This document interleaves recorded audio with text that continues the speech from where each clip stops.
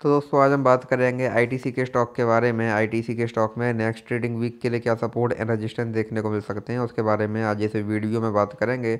हम अगर यहाँ पर स्टॉक की बात करें तो हम देखेंगे जो ये स्टॉक है, ये हमको पिछले एक लंबे समय से यहाँ पर लगातार क्लियर अप ट्रेंड में देखने को मिल रहा है। हमको यहाँ पर स्टॉक में लगातार हाइयर हाई हाइयर लो वाला पैटर्न यहाँ पर देखने को मिल रहा है।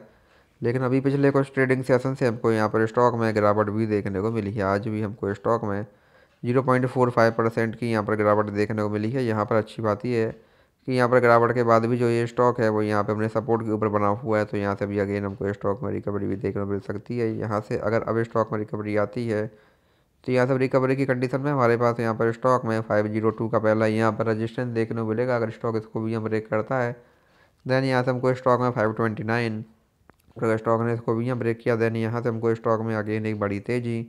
एक बड़ी बाइंग यहाँ पर देखने को मिल सकती है। इसके बाद हमको यहाँ पर स्टॉक में फाइव सिक्सटी देन यहाँ से हमको स्टॉक में सिक्स हंड्रेड और six twenty five six fifty तक के लेवल्स भी यहाँ से अभी देखने को मिल सकते हैं।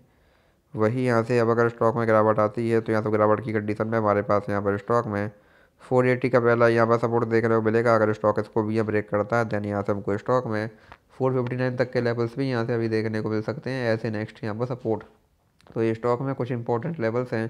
आप इन पर ध्यान दे सकते हैं। बाकी वीडियो में कोई बाय सेल होल्डिंग चला नहीं है। वीडियो केवल एजुकेशनल पर्पज़ के लिए। धन्यवाद।